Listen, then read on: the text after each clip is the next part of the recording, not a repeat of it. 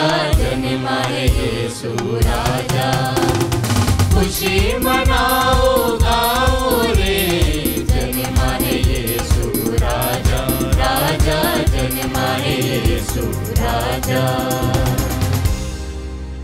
पिता और पुत्र और पवित्र आत्मा के नाम पर।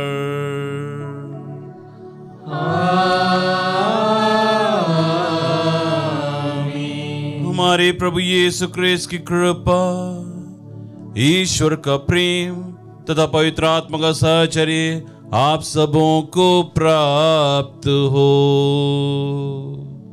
और आपकी आत्मा के साथ। क्रिस्त में प्यारे भाइयों और बहनों प्यारे बच्चों इस पवित्र क्रिस्ती याग में मैं आप सबका स्वागत करता हूँ। आज का पहला पाठ योहन के पहले पत्र से लिया गया है। जिसमें यह बताया जा रहा है कि यदि आप किसी को अच्छी तरीके से जानना चाहते हैं तो आज्ञाकारी बनिएगा। यदि वे आज्ञाकारी नहीं है तो उस व्यक्ति को कभी भी नहीं पहचान पाओगे। और यदि आज्ञाकारी हैं तो आप उसे जान जाओगे और ज्योति का उद्गमन तुम्हारे मन में होगा और तुम दूसरों को भी प्रकाश में ला पाओगे। बहुत सुंदर। कृष्ण में प्यारे भाइयों, बहनों, सच है। हम कई बार ईश्वर की बातों को सुनते हैं। कई बार ईश्वर को अपने जीवन में अनुभव करते हैं, फिर भी अपनी मनमानी करते हैं। आज का पाठ बता रहा है कि हमें आज्ञाकारी बनना है, जिस प्रकार हमारा गुरु प्रभु यीशु क्रिस्त पूर्ण रूप से आज्ञाकारी था। आइए जब जब हमने आज्ञाओं का उल्लंघन किया है जब जब अपनी मनमानी की है उन अवसरों के लिए माफ़ी मांगे और इस पवित्र विश्व बलिदान में योग्य रीति से भाग लें।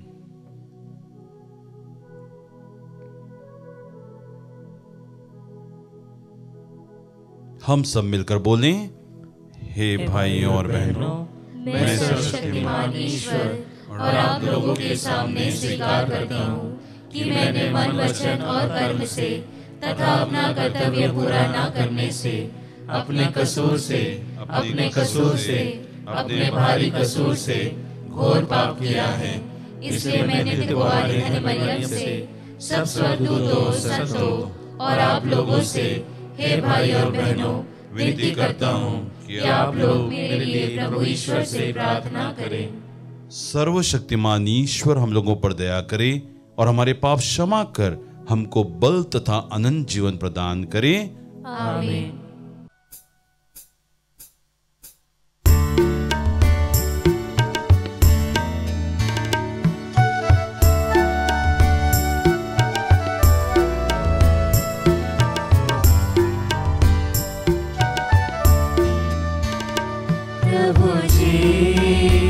दया करो। मन में आने बसो प्रभु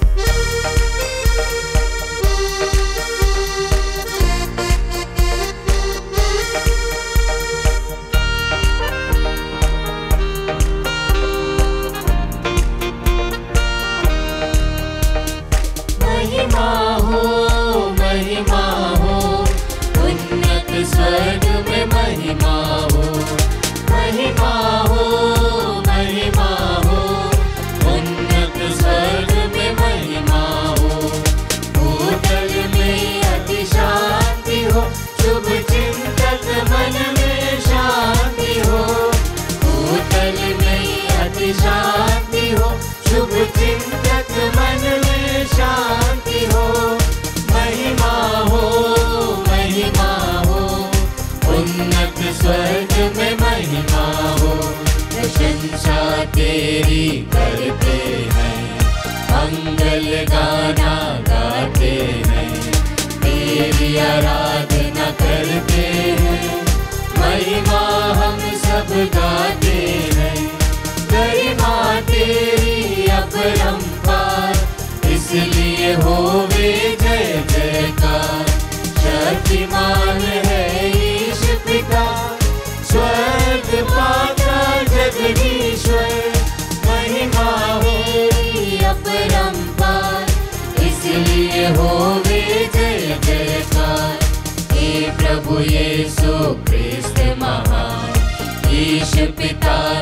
सु भगवान् के सुत सु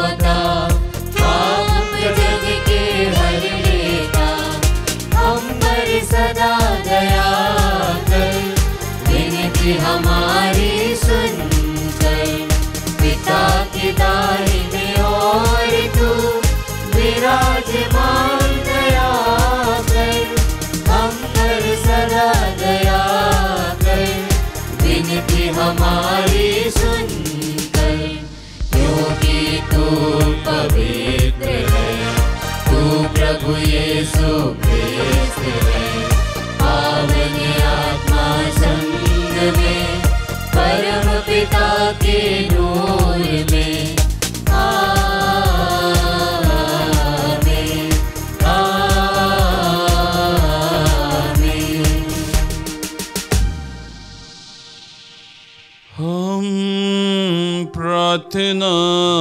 करें।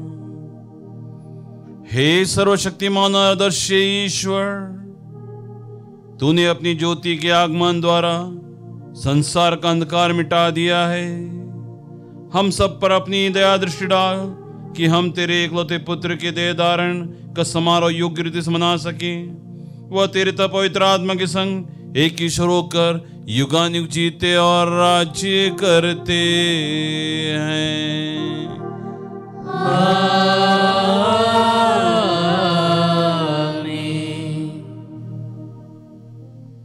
प्रभु आपके हृदय और जीवों में हो जिससे आप युग रीति से पवित्र वचन सुना सकें पिता पुत्र पवित्र आत्मा के द्वारा।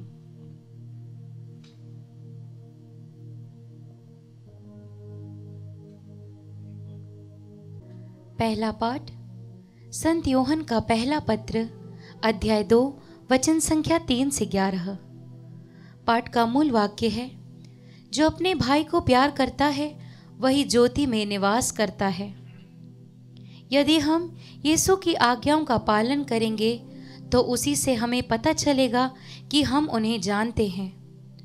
जो कहता है कि मैं उन्हें जानता हूँ, किंतु उनकी आज्ञाओं का पालन नहीं करता, वह झूठा है और उसमें सच्चाई नहीं है। परंतु जो उनकी आज्ञाओं का पालन करता है ईश्वर का प्रेम उस पर परिपूर्णता तक पहुँचता है। जो कहता है कि मैं उनमें विश्वास करता हूँ, उसे वैसे ही आचरण करना चाहिए, जैसा आचरण मसीह ने किया है। प्रिय भाइयों, मैं तुम्हें कोई नई आज्ञा नहीं लिख रहा हूँ। यह वह पुरानी आज्ञा है जो प्रारंभ से ही तुम्हें प्राप्त है। यह पुरानी आज्ञा वह वचन है जिसे तुम सुन चुके हो। फिर भी जो आज्ञा मैं तुम्हें लिख रहा हूँ, वह नई है। वह नई इसीलिए है कि वह उनमें चरितार्थ हुई और तुम में भी चरितार्थ हो रही है, क्योंकि अंधकार हट रहा है और सत्य की ज्योति अब चमकने लगी है। जो कहता है कि मैं ज्योति में हूँ और अपने भाई से बैर करता है, वह अब तक अंधकार में है। जो अपने भाई को प्यार करता है, वह ज्योति में निवास करता है और कोई कारण नहीं कि उसे ठोकर लगे।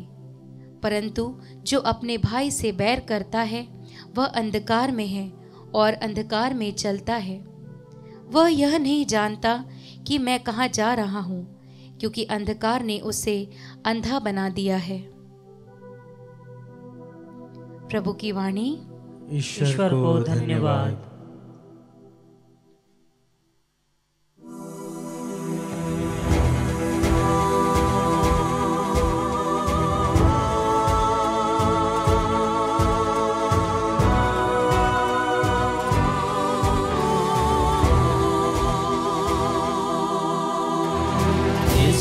राजा पैदा हुआ बेथलेहम गाँव में। कैसा उजाला फैला है आज इस जहान में। यीशु राजा पैदा हुआ बेथलेहम गाँव में। कैसा उजाला फैला है आज इस जहान में। हारा सबका दुलारा आया संसार में। यीशु राजा पैदा हुआ गाँव में। कैसा उजाला फैला है आज इस जहान में। सुख में, दुख में तुम याद करो यीशु मसीहा को याद करो। चरनी में है जो लेटा हुआ। आओ चलो उसके दर्शन करो। सुख में, दुख में तुम याद करो। यीशु मसीहा को याद करो। चरनी में है जो लेटा हुआ। आओ चलो उसके दर्शन करो। यीशु राजा पैदा हुआ बेथलेहम गाँव में? कैसा उजाला फैला है?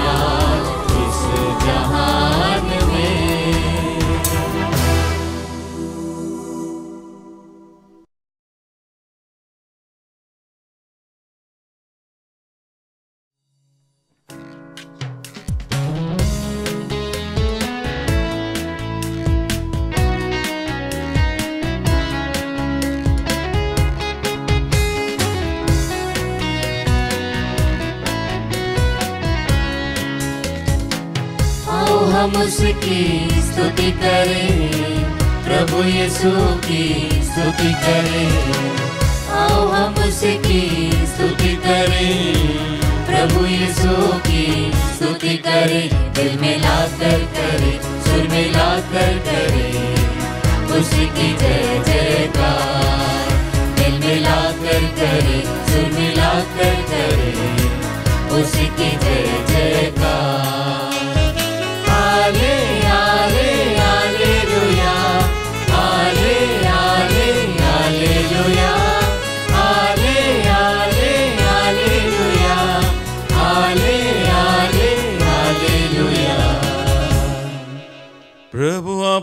के साथ हो। और आपकी आत्मा के साथ। संत लुकस के अनुसार पवित्र सुसमाचार। हे प्रभु तेरी महिमा।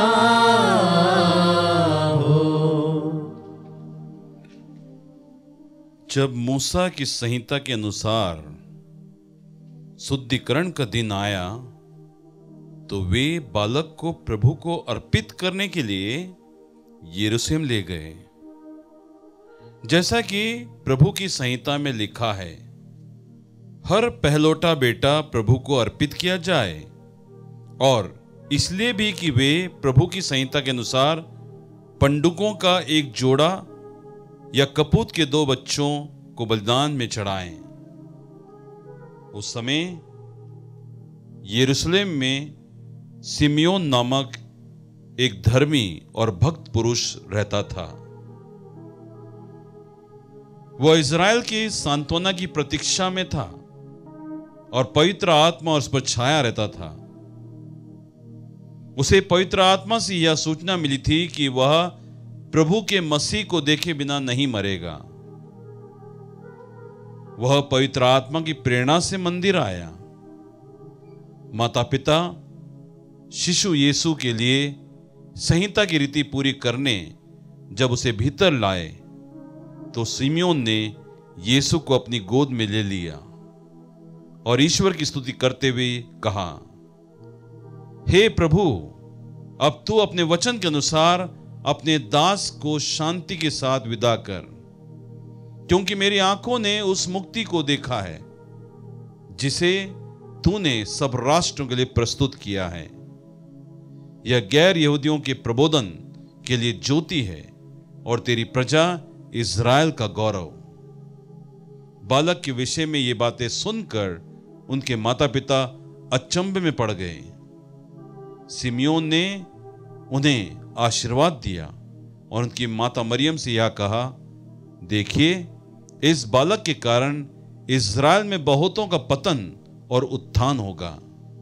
यह एक चिन्ह है जिसका विरोध किया जाएगा, जिससे बहुत से हृदयों के विचार प्रकट हो जाएँ और एक तलवार आपके हृदय में आर पार भेदेगी।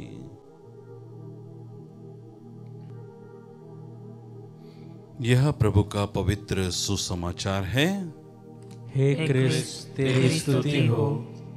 क्रिस्त में प्यारे भाइयों और बहनों प्यारे बच्चों आज का पवित्र वचन हमारे जीवन में बहुत कुछ सिखाते हैं। देखिए आपने एक गाना सुना होगा बहुत ही प्रचलित गाना था। उस गाने के बोल ये थे पापा कहते हैं बेटा बड़ा नाम कमाएगा, है ना? लेकिन कोई नहीं जानता कि मेरी मंजिल कहाँ पर है। लेकिन आज के पवित्र सुसमाचार में माता पिता संहिता को पूरा करने के लिए अपने पहलौटे बच्चे को यरूशलेम लेकर जा रहे हैं, मंदिर में। और वहाँ पे सिमियोन नामक धर्मी व्यक्ति, सिमियोन नामक धर्मी व्यक्ति पवित्र आत्मा की प्रेरणा से मंदिर में प्रवेश करता है और यीशु को गोद में लेता है। और कुछ भविष्यवाणी करता है ना? देखिए, उसकी मंजिल को तय करता है। इस पवित्र सुसमाचार को सुनने के पश्चात आपको यह बात ध्यान रखना चाहिए, जो पवित्र आत्मा की प्रेरणा से प्रेरित होते हैं, वो सच्चाई की गवाही देते हैं। जो पवित्र आत्मा की प्रेरणा से प्रेरित होते हैं, वो आज्ञाकारी होते हैं पहले पार्ट में यही बताया जा रहा है। यदि आप अपने भाई से बैर रखते हैं तो आप ज्योति को ग्रहण नहीं कर सकते। यदि आप आज्ञाकारी हैं तो निश्चित रूप से आपके जीवन में वो ज्योति रहेगी, जिसके द्वारा ईश्वर को आप ग्रहण कर सकते हैं, ईश्वर की बातों को समझ सकते हैं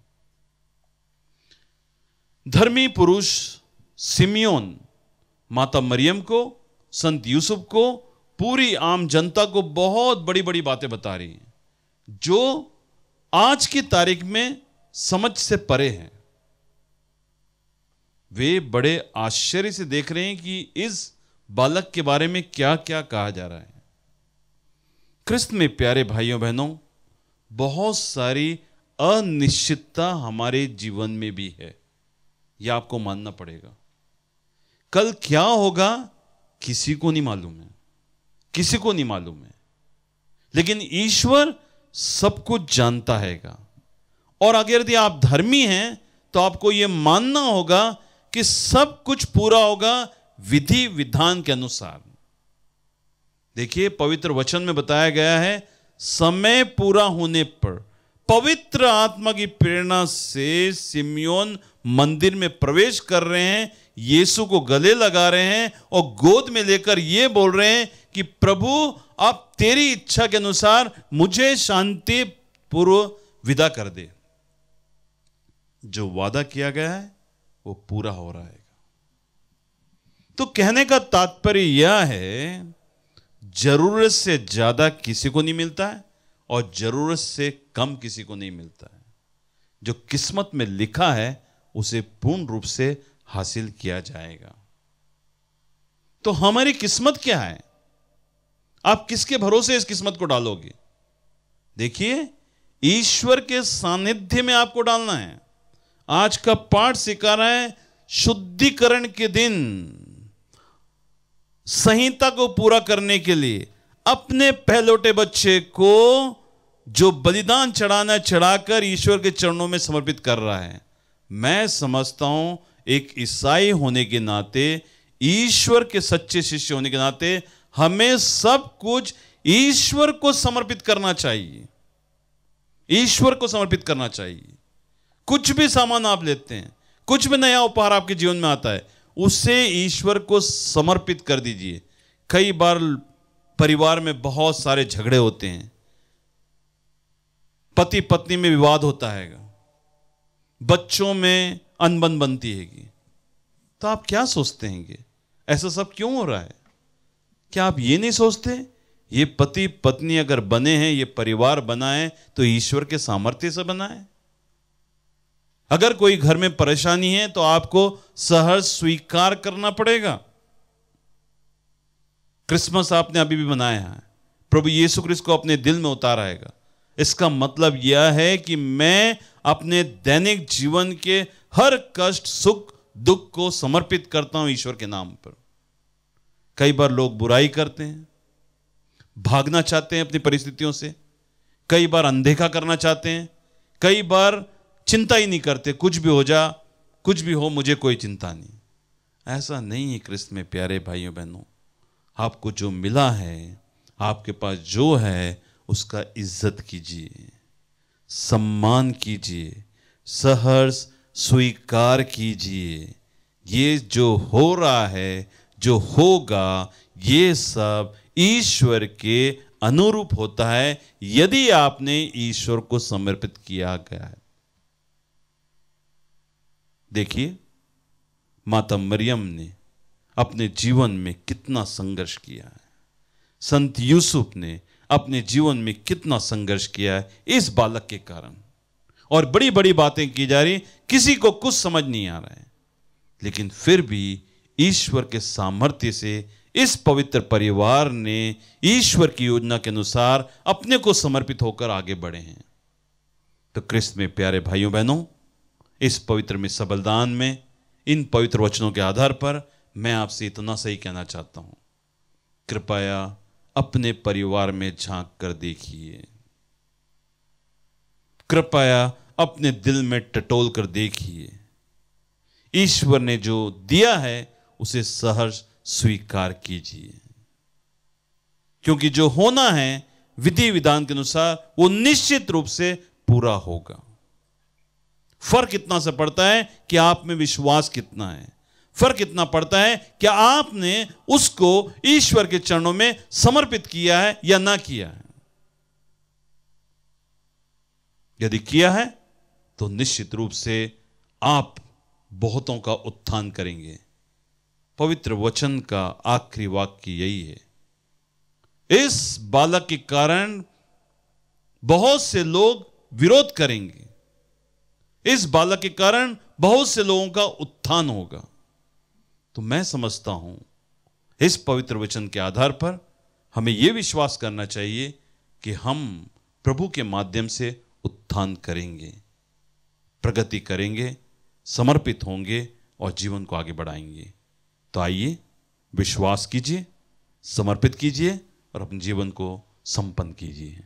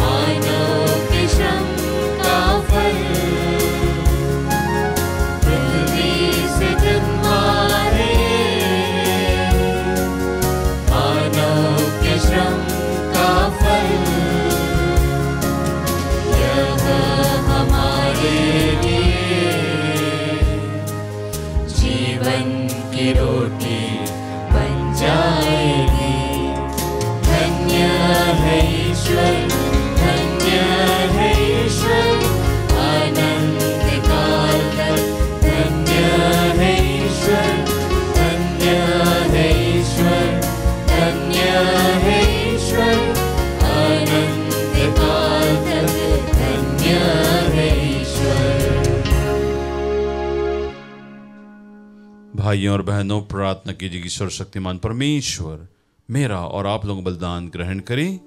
प्रभु अपने नाम की स्तुति तथा महिमा के लिए और हमारे तथा अपने समस्त पवित्र कलीसिया के लाभ के लिए आपके हाथों से बलिदान स्वीकार करें। हम प्रार्थना करें। हे प्रभु हमारी भेंट ग्रहण कर। इसके द्वारा तेरे और हमारे बीच गौरवपूर्ण आदान प्रदान होता है। तुझसे प्राप्त दानों को तुझे चढ़ाकर हम तेरे सत्व के भागी बन जाएँ हमारे प्रभु क्रिस्त के द्वारा।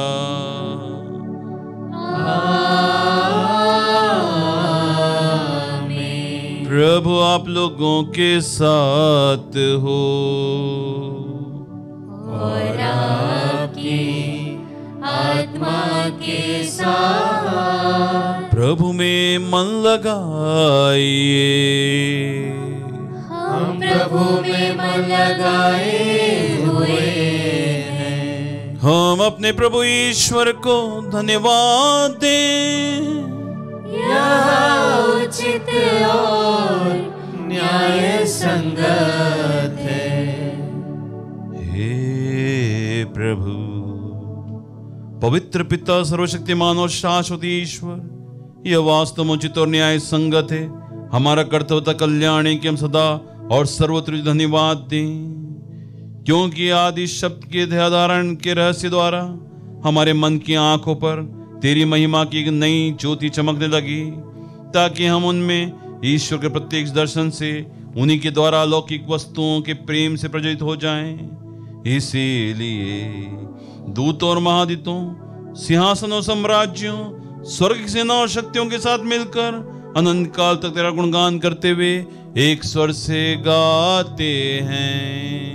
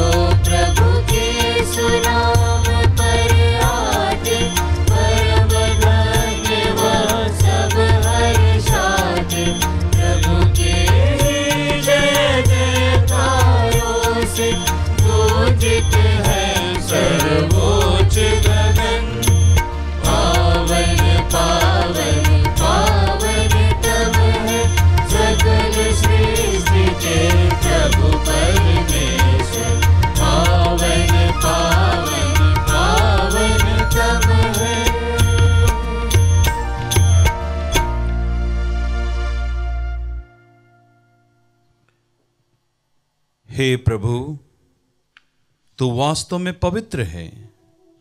सारी पवित्रता का स्रोत है।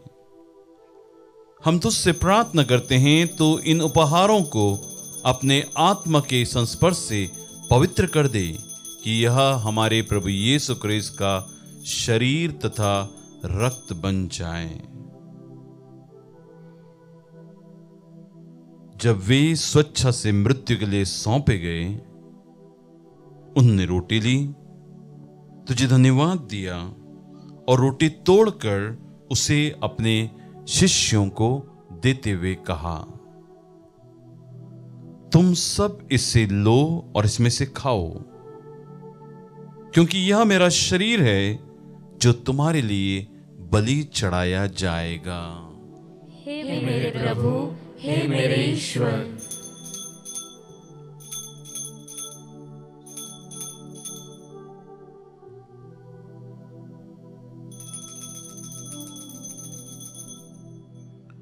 इसी भांति भोजन के बाद उन्होंने कटोरा लिया। तुझे धन्यवाद दिया और उसे अपने शिष्यों को देते हुए कहा, तुम सब इसे लो और इसमें से पियो, क्योंकि यह मेरे रक्त का कटोरा है, नवीन और अंतव्यवस्थान का रक्त, जो तुम्हारे और बहुतों के पापों की क्षमा के लिए बहाया जाएगा। तुम मेरी स्मृति में यह किया करो। हे मेरे प्रभु हे मेरे ईश्वर।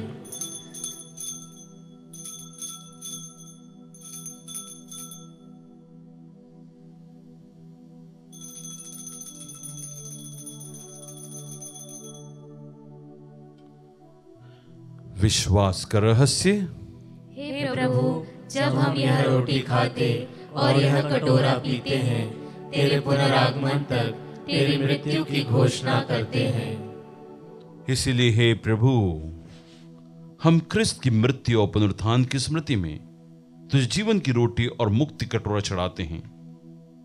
हम तुझे धन्यवाद देते हैं कि तूने हमें अपने समक उपस्थित होने और अपनी सेवा करने का सौभाग्य प्रदान किया है। हमारा नम्र निवेदन है कि हम सब जो ख्रिस्त का शरीर तथा रक्त ग्रहण करके पवित्र आत्मा के द्वारा एकता के सूत्र बंधे रहें हे प्रभु हमारे संत पिता फ्रांसिस, हमारा धर्माधिक को और सभी याजकों के साथ विश्व भर में फैली अपनी कलिसिया की सुधिले तथा इसे प्रेम में सिद्ध बना दे। हमारे उन भाई बहनों की सुधिले जो पुनरुत्थान की आशा में परलोक सुधार चुके हैं, उन्हें और सभी मृतकों को अपने पुण्य दर्शन का सौभाग्य प्रदान कर। हम सब पर दया दृष्टि डाल कि हम भी अनंत जीवन के सहभागी बने। और ईश्वर मदनी कुमारी मरियम, उनके वर संत यूसुफ, धन्य प्रेरितों, सब संतों के साथ, जो युग में तेरे प्रति विश्वस्त बने रहें, तेरा स्तुति और महिमा कर सकें तेरे पुत्र यीशु क्रिस्त के द्वारा।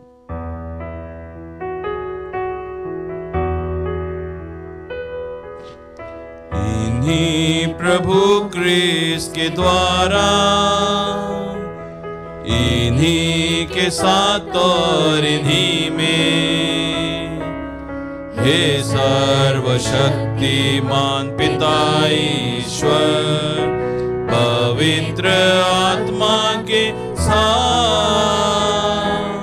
सारा गौरव तथा सम्मान युगाने युग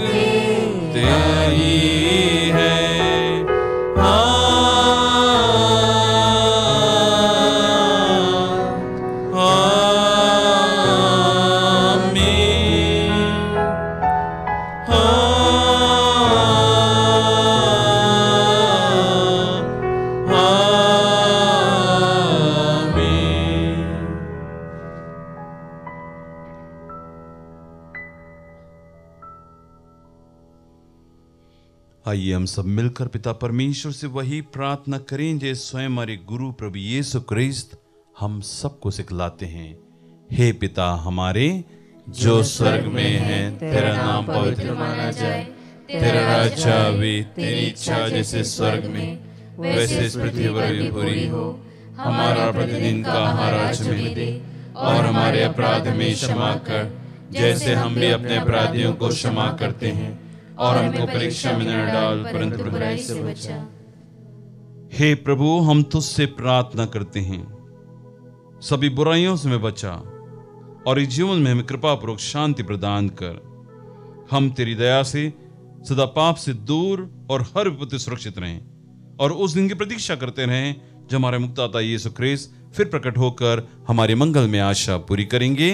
क्योंकि तेरा राज्य तेरा सामर्थ्य और तेरी महिमा अनंत काल तक बनी रहती है। हे प्रभु यीशु क्रिस्त ने प्रेरितों से कहा है मैं तुम्हारे लिए शांति छोड़ जाता हूँ अपनी शांति तुम्हें प्रदान करता हूँ। तो हमारे पापों पर नहीं अपनी कलीसिया के विश्वास पर दृष्टि डाल उसे कृपा पूर्वक शांति तथा एकता प्रदान कर युगानुग जीता और राज्य करता है। प्रभु यीशु क्रिस्त की शांति सदा आप लोगों के साथ हो। और आपकी आत्मा के साथ। हम परस्पर शांति अभिवादन करें।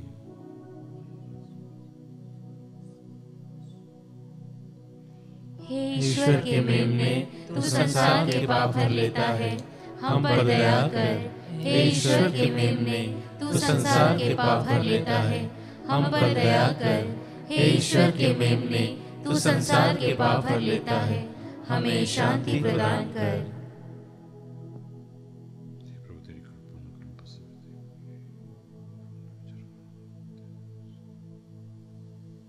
देखिए ईश्वर का मेमना इन्हें देखिए जो संसार के पाप भर लेते हैं। धन्य हम सब के सब जो प्रभु के इस पावन भोज में बुलाए जाते हैं। हे प्रभु मैं नहीं हूँ। कि आप मेरे यहाँ आए। किंतु ये शब्द और मेरी आत्मा चंगी हो जाएगी।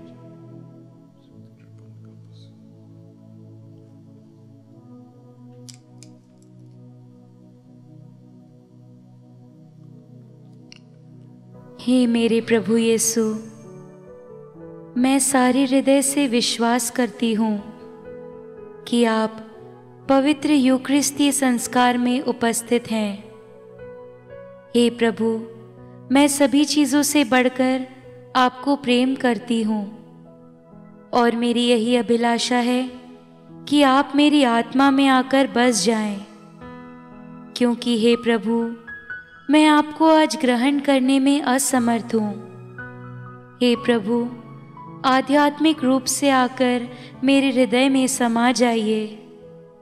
हे यीशु, मैं आज आप में एक होना चाहती हूँ और आप में समा जाना चाहती हूँ। हे प्रभु, यह कभी ना होने पाए कि मैं आपसे कभी अलग हो जाऊँ। आमीन। हम प्रार्थना करें। हे सर्वशक्तिमान ईश्वर, ऐसी कृपा करके हम पवित्र संस्कार के सामर्थ्य से अपना जीवन निरंतर पोषित करते रहें। हमारे प्रभु क्रिस्त के द्वारा।